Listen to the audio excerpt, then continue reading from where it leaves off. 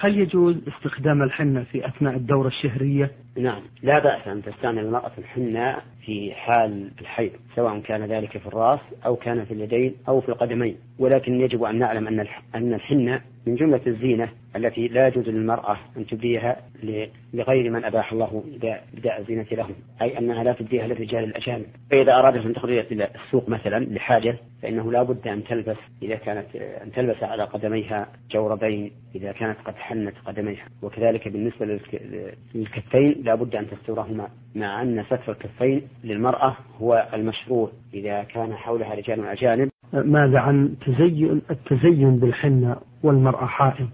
التزين بالحنة لا بأس به لا سيما للمرأة المتزوجة التي تتزين به لزوجها. وأما غير المتزوجة فالصحيح أنه مباح لها إلا أنها لا تبديه للناس لأنه من الزينة. وفعل ذلك في في وقت الحيض لا بأس به. وقد كثر السؤال عنه من النساء هل يجوز للمرأة أن تحني رأسها أو يديها أو رجليها وهي حائض؟ والجواب على ذلك أن هذا لا بأس به. والحناء كما نعلم يعقبه أثر بل أثر تلوين بالنسبة لموضعه. واللون هذا لا يمنع من وصول الماء إلى البشرة كما يتوهم. فإذا غسلته المرأة أول مرة زالت أجرامه وبقيت آثاره الملونة وهذا لا بأس به.